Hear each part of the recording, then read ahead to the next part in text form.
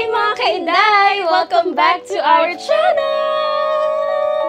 So for this vlog, we're gonna talk about the N NFAQ part 2! So, So, ito guys, yes. yung not frequently asked questions again. Galit na galit yung so, uh, anything, ano, uh, uh, about aviation. So, Yes. if you haven't seen that previous vlog, yes, ito siya. Pakita Ito natin. siya.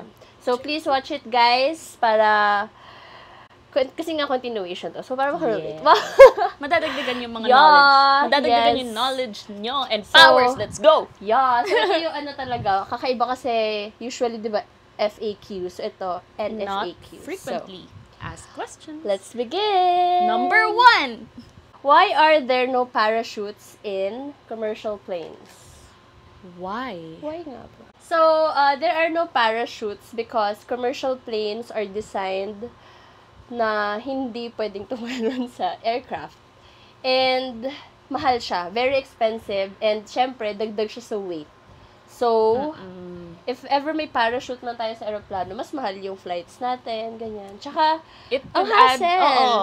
Kailangan mo pa mag-train. Parang, we're Yes, not ano, we're not all gonna teach all the passengers passengers, to how to control the parachutes, di ba? You'll never know where will Baka you land. sa desert. Diba? Or, Yung isa pala napunta Yeah. sa Iceland, yung isa napunta yeah. sa... Number Okay, two. Number two. Can you open the cabin door mid-flight? The answer is No. you cannot. yeah. Kasi ang airplanes, usually meron siyang naka-design na rin siya Oo. na pag nas, na-reach niya yung certain altitude na ganito, hindi na, siya- hindi na like, ma-open yung door. Kahit si Superman ka pa, hindi mo siya ma-open. Yes. Kasi yung pressure, cabin pressure, ah, syempre, di ba, nag-iiba yan pag tumataas sa aeroplano. So, parang ano, para siyang na-squeeze. Kumbaga, hindi mo siya talagang kayang i-open I-open palabas. yung door. Oo. Yeah. Pero yung mga napapanood nyo sa movies, ganyan, Oo. usually nasa bandang baba na yan. Oo. Baka Kasi- siguro 10,000 feet below. Oo, ganun. Yun na yung time na pwedeng mabuksan na yung Yes. doors. Third is, why pointing a laser at the plane is a serious crime? Okay. So, So, this is, oo. actually naturo sa atin to nung Mm-mm. training eh. Pag may tumapat na laser sa, let's say, sa sa pilot, ibig Oo. sabihin, there's a danger na. Oo. So, di ba, may tendency na pag nag-laser, di ba, pwedeng may barilang maganap, di ba? Pwede din maging, um, inca- maging incapacitate yung pilot. Kasi, di ba, laser lights are Yeah, for the dangerous eyes, for the yes. eyes. So, pwedeng maging blind or pwedeng magkaroon ng glare. So, Yeah. yung mga ganong Importante instances, pa naman oo. ng piloto, syempre. Yes. So, ayun. Ano siya talaga? Like, nasa law siya. Federal law, Yeah. something. So, may, actually, may fine eh. Um, penalty ranges from $11,000 to $30,800. So, Grabe. ano yun, Sels? Diba? US dollars. so, sobrang seryoso talaga. Oh. Grabe. So, next question is, why pilots can't have the same meal? Oo nga. Alam mo, actually, kasama to sa training, Training namin. din. Tinuro din Service. sa amin to Yeah. ng training. So, hindi ka pwedeng magbigay ng meals na parehas. na chicken, para sa chicken, or Because ganyan, there's a fish. possibility na may Ma-food ma-food poison. poison. So, kung si captain, tinake niya yung chicken, and, may food po- yung may poison yun, Siya lang yung ma, siya lang yung ma-incapacitate. So, meron pang other pilots na pwedeng mag um, mag-perform nung duty. oo. Diba? So, that's why. galing, no? Galing, no? Okay, next question is, Why does your taste buds change in flight? During flight?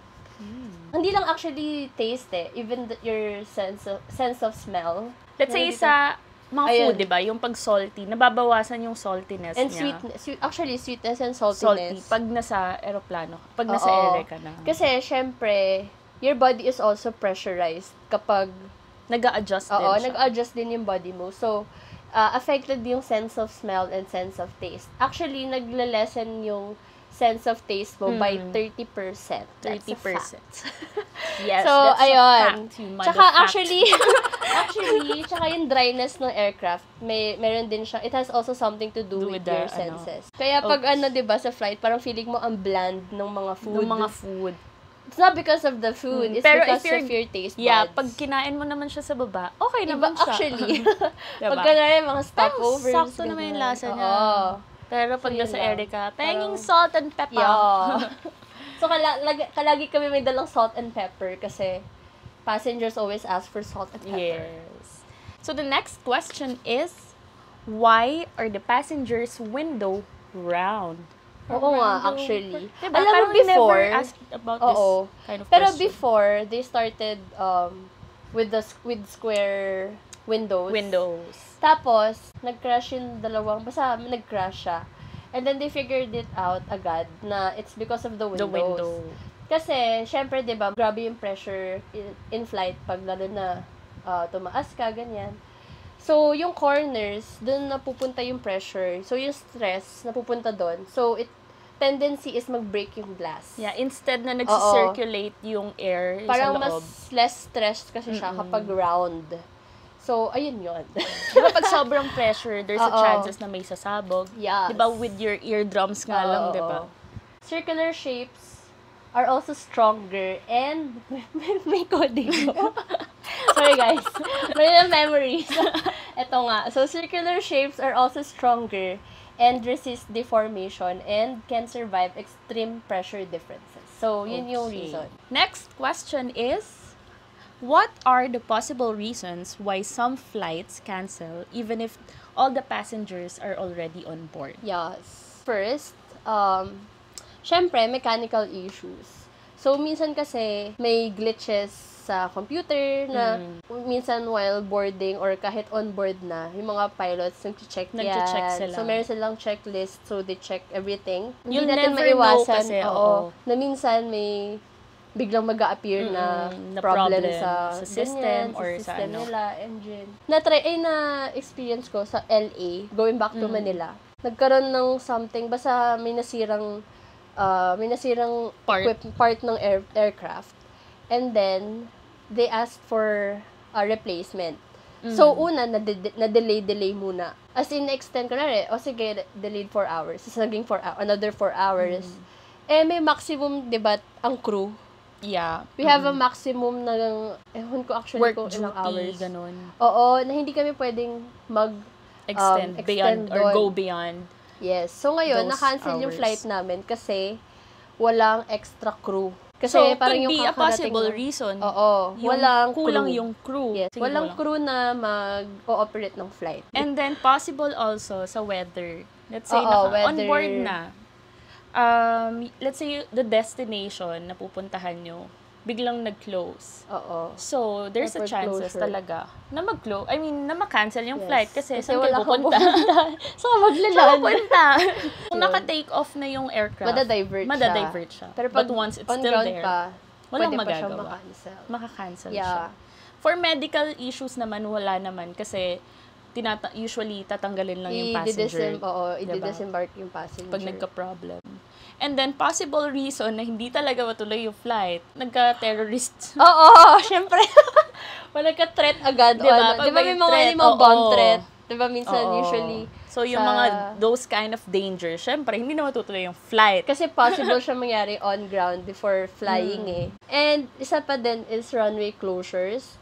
So, Hmm. ang mga reason nito kung ba't nagko-close ang runway ng ah, agad-agad is ah, yung mga nagla-land na nag-overshoot. So, ngayon, syempre, hindi nila pwedeng galawin agad yung airplane. So, ki- kinuklose nila yung runway. Kasi, di ba, may mga Yeah. ganun na nangyayari. Na sumasadsad sa grass or Mm-mm. na fa-flat yung gulong, yung mga ganun na happenings. Yeah. Tapos meron din ako na-try nun. Well, actually, hindi na-cancel yung flight. Na-divert kami. Pero for sure, yung mga nasa ground na aircraft. Yeah, yung mga na-cancel susunod na- kasi nagka-potholes. Mm. Nagkakabutas Oh, yeah. yung, sa runway. nagkaroon, nagkaroon ng problema yung So, ano. ewan ko, dahil ata may nagland na isang aircraft na siguro nasira yung Mm. asphalt. So, na, nabutas siya. So, So, kailangan hindi nilang na siya ayusin. pwedeng gamitin. Oo, ay, ay- ano yung, i-fill pa nila yung hole na yun, papatuyuin Yeah. pa nila. Tsaka mag-open ulit yung runway. Eh, sa syempre, sa Philippines, Medyo mali- hindi isa maganda. lang, tsaka isa lang yung, ano natin, eh, isang runway, Runway. lang for, uh, big aircraft, di ba? Oo. Tapos isang for small. Kaya sa ngayon, ginagawa ng government or ng mga private sectors, Yeah. build na sila ng bagong airport. Yes! Yes, Yes! finally! We have one in Clark. And then, ewan ko Actually- kung totoo yung sa Bulacan, di ba? Yung sa San Well, Miguel ba? oo. But Sana hopefully, totoo at Diba? Para matuloy hindi na rin masyado crowded Crowded sa Manila. Yes. Yes. Move on to the last question. What is the worst plane crash in the history? Hmm. This is Ito called the crash crash. of the century, ha? Yes. Ito yung crash na so, ah, parang pinakamaraming namatay. Namatay. So, this happened March 27, 1977. 1977. So, hindi pa tayo buhay, sis. Yes. Ito ay nangyari sa Tenerife Airport. Um, dalawang Boeing 747 yung nag-collide. These are flights ng KLM flight tsaka Pan Am. Flight. Itong dalawang airplane na to, um, na-divert lang sila because There of was a te- an there was a terrorist, terrorist attack incident. sa Oo. saan nga? Sa destination nila, sa Canary Islands. Canary Island. The airport actually is just small. Very small airport Mm, so siya. sobrang so, hindi crowded talaga siya nakaka-accommodate talaga Oo, ng mga ng big ganun. aircrafts. Tsaka ang dami So, din nagland that time Oo, dun. eh. talagang na-divert. Kasi nga, nag-close nga yung Canary sa Canary Island yeah, Airport. Canary Island. So, what happened? Nagkaroon ng bad weather. As in, zero visibility. Visibility. So, nakakuha sila ng clearance na pwede na silang bumalik ng Canary Islands. KLM, since si KLM unang dumating. So, siya yung unang unang priority take off. for take-off and then followed by Pan Am. So, daan sila ng runway. Since maliit nga yung airport, runway lang yung pinaka pwede nilang daanan. Yeah. So, nauna na yung KLM, followed Tas- by Pan. Magpas siya, and then, yung KLM naman, syempre, nandun na siya, ready na siya, naka-pwesto na siya. siya eh. For take-off na siya eh. Ito yung itsura eh. Parang ito yung KLM. Ito yung magkaharap sila, guys. Yeah, magkaharap sila, and then Pan Ganyan, Am, dapat mag-exit ng ganito. Oo. So, what happened is, basta, basically, nagkaroon ng miscommunication with the pilots and the control tower. yes. Nag-take off Yung si KLM. KLM Without the... without really having the go signal From the, from the control tower. Tapos, eh, pa-exit na sa Pa-exit runway pa lang pa lang si... Pan Am. Pa-exit pa lang siya. So, nung Palapit na nag-take off na yung KLM, mabilis na siya. Siya So, sa- nag-clash, nag, nag-collide na sila. Yeah. And there happened a major crash. Yes. And guys, sa KLM flight, lahat namatay. As in zero. As in zero talaga. survivors. Pero sa Pan Am flight, there were um, 61 survivors. Ah, sila yung mga nasa front area ng aeroplano. Ang total fatalities is 583. 583 total fatalities. Grabe, no? Grabe. So, until sobrang- now, actually, siya pa rin yung parang... Yes, worst talaga worst, until now. um, Kaya they call it nga the crash of the century. As in, yun talaga yung first Yes. time kasi na nangyari yung ganun. Na, Oo. so far, thank you Lord, hindi pa naman siya Yeah. nangyayari ulit. And hopefully, hindi na siya mangyari like Mm. ever Siyempre again. naman, parang lesson learned na rin yan sa lahat, Mm-mm. diba? Kaya if you're listening to our previous, yung part 1 nito. 'di ba yung control tower, communication between the control Yes, tower and and, the the, pilot pilots. is very important. Important. Kasi kayo din naman, tayo-tayo din yung mapapahamak. Kaya wag kayo Tsaka kasi sila yung, kumbaga they have the eyes eh. Kumbaga nakikita nila yung flow ng airport, Mm-mm. ng runway, ganyan. Ng yan lahat. nga, kaya wag Oo. kayo magsa-cellphone kasi Diba? in, Yun talaga. interfere yan sa signal nila, guys. Yes. So baka na time na yun, no? Sure, dami nagsa-cellphone. Nagre-report na, oh gosh, we got diverted. Hindi, yun na nga. Kasi due to the bad weather, tapos Isa siguro may yun. mga nag-cellphone Oo. nga.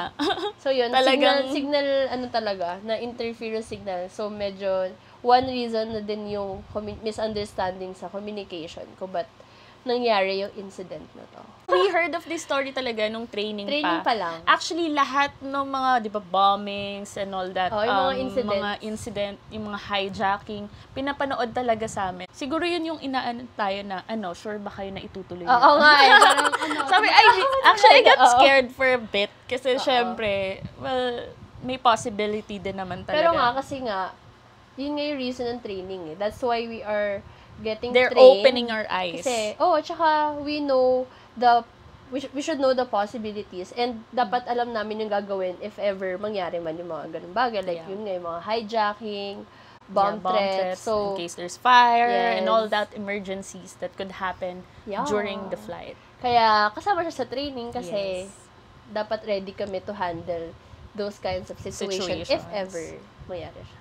Yes. So that's pretty much it, guys. yes. Again, if you haven't watched the part The one, part one, you may check it, guys. here or Yes. there. But actually, lagyan natin sa description box. Yeah. Ayan. And nandito na rin yung link siya, yeah.